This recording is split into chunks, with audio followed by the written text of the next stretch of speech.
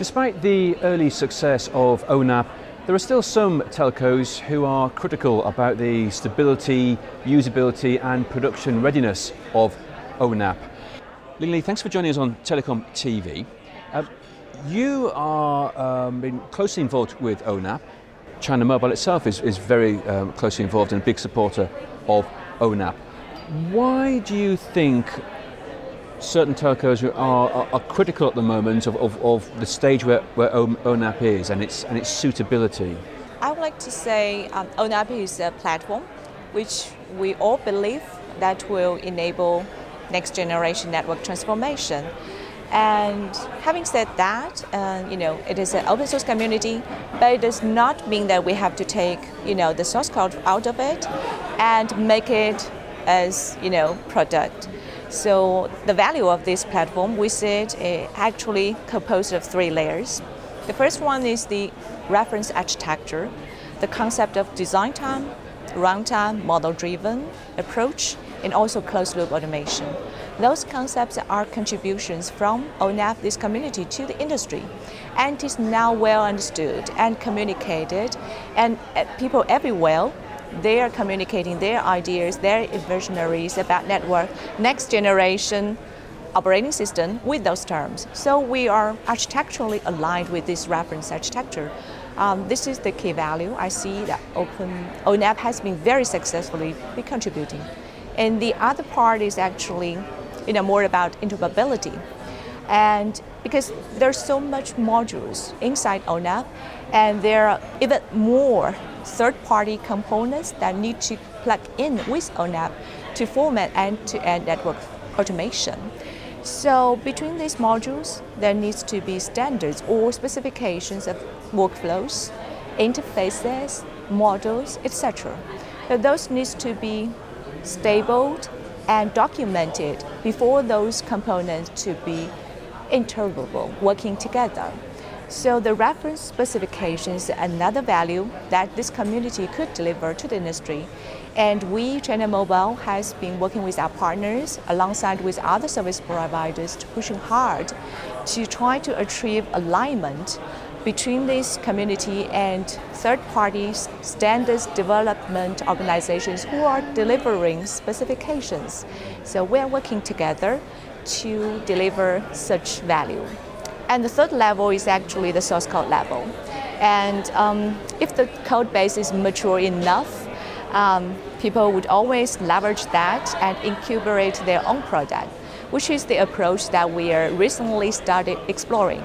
Uh, we are picked you know, certain modules from ONAP Beijing release and trying to you know, do something uh, with our own development team and we are conducting trials, I think, starting from September to November um, in Zhejiang province in China. And we're also looking at other use cases now. I guess maybe one of the reasons behind a lot of frustration is that it has been successful and it does set out to achieve a lot. And obviously, telcos really need this. So, is it a case of we're going as fast as we can, we just need a bit more time, or is it a case of let's say focus more on getting something that is more production ready now? And is, and is this part of the evolutionary roadmap from Beijing, Casablanca and onwards? Perhaps it depends. Um, each service provider or vendor has its own status strategy. Uh, whether or not you leverage community source code to incubate your product, uh, which means that it has to be production ready by itself or you would take that as a reference architecture or reference specification suite that you will enable your product to be interoperable with uh, the reference implementation or other third-party solutions to accelerate the, the transformation without having to wait for the maturity of the source code. That's two different like approaches. So where are we today? What has ONAP achieved right now? Where, where, where is it heading? Perhaps a recent consensus from, from our side, our experience is that it is a very huge code base and it takes time and also people, procedure transformation to have it as a whole to replace what we already have. So perhaps we could take, you know, like divide and conquer approach. So we divide it into different modules and you know use our prioritized use case as a trigger to perhaps plug in some of the modules which are mature you know, and also targeted at the specific use case we're addressing our business requirements to like gain a sense of incremental deployment and also allow time for the rest of the code base to get mature. Can I move on to um, a fascinating project that China Mobile is doing, the, the, the Novonet project? You, you're involved in this as well. Um, can, can, you explain more about what Novonet set out to achieve? Sure.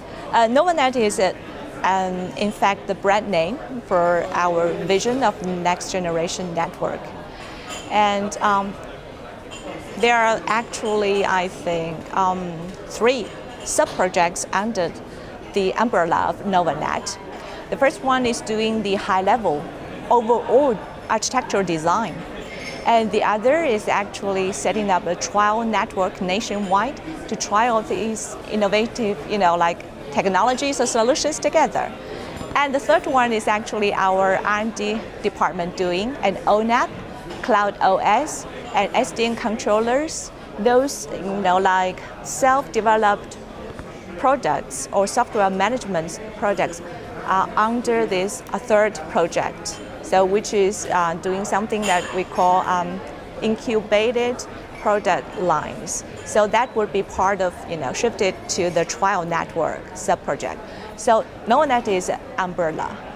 And all those like uh, new technologies about network transformation is underneath it.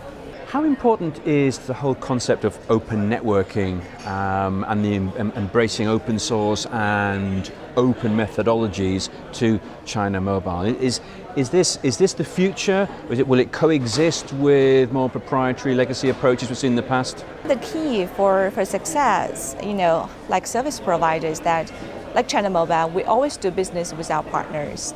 And I think it is also truth in open source communities that you're creating new value rather than you know eating up what you know others value. So it is important that we work with our partners. Um, open networking does not mean that we will leverage open source or do it all by ourselves. It means collaborating with our partners to accelerate innovation. And um, I would turn to take open source as a, another, you know, like standards.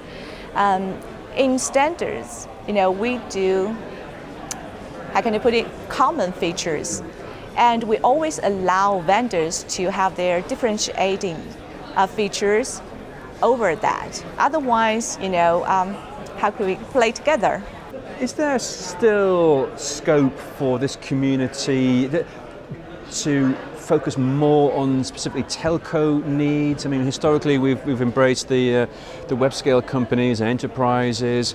Do the telcos themselves have more particular requirements that maybe the community needs to, to, to focus on? Perhaps so, but you know, um, I think it, now we're in a more early stage at you know like demonstrating the functionality rather than you know tackling very deeply in realistic application scenarios. So Probably so. Uh, when we are looking at more like edge scenarios or 5G use cases, which would be, I think, part of our upcoming release. So we'll see. Great. Well, Lingli, thank you very much for joining us on Telecom TV. Thank you, Gil.